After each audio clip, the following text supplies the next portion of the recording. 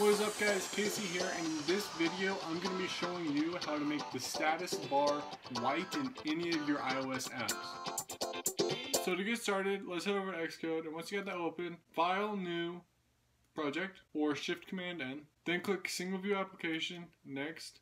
Name this whatever you'd like, I'm going to name it Status. Just click, everything here is good. Just click Next. And then Create.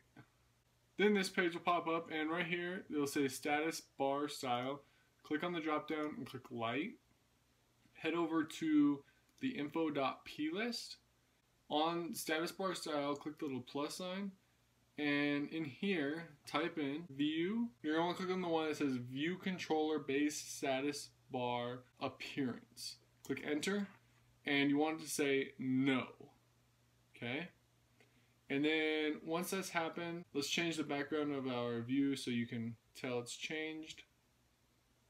Or let's change the background of our view controller so you can see the white instead of white on white and it being visible. Click on the view, background, change it to a nice blue. There we go, and then click run. Okay? And there we go. Status bar is white. Thank you guys so much for watching the video. If you liked it, please give a like below. If you have any questions or comments, please leave that in the comments section. Uh, post every single Thursday. And if you'd like to subscribe to the channel, please click here. And if you'd like to see the next video, click here. Thank you. Bye-bye.